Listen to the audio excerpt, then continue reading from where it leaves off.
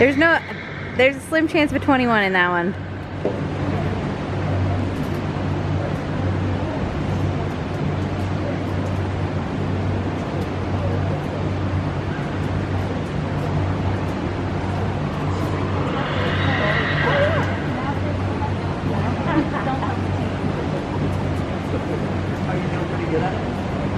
I think it's a great idea